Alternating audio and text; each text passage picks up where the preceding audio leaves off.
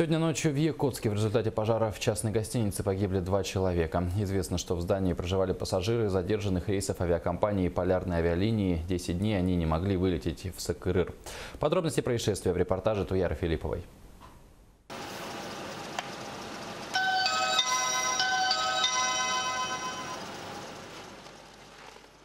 Хозяева частной гостиницы, где ночью разыгралась трагедия, дверь нам не открыли. Не открыли они и главе промышленного округа, на чьей территории находится гостиница. Девушка!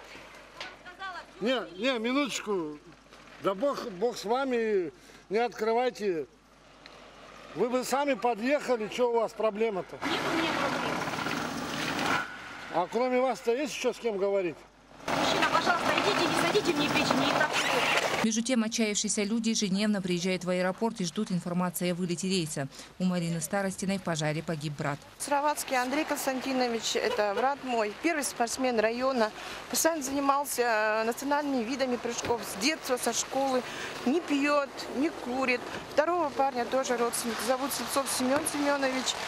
Да, тоже вообще не пьющие парни, молодые, совсем, оба семейные, имеют по два ребенка. Что же на самом деле стало причиной пожара, сейчас выясняют следователи и пожарные службы. Но по утверждению пассажиров в гостинице пожарной сигнализации они не видели. Пожарной лестницы нету там, и нету сигнализации пожарной. Во всех, во всех зданиях, во всех номерах отсутствует пожарная сигнализация. Представители авиакомпании-перевозчика, разместившие пассажиров задержанных рейсов именно в этой гостинице, официальных комментариев не дают. Вот что они отвечают самим пассажирам. Мы гостиницы не смотрим вообще.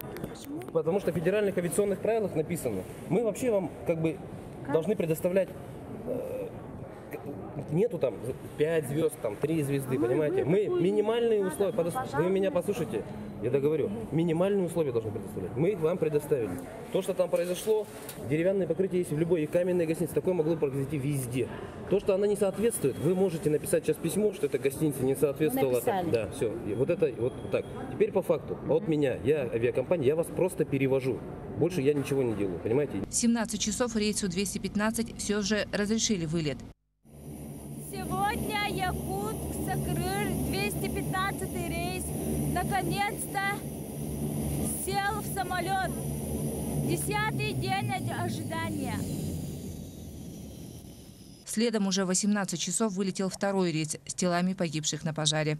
Туяра Филиппова, Михаил Неустроев, НВК «Саха», Якутск.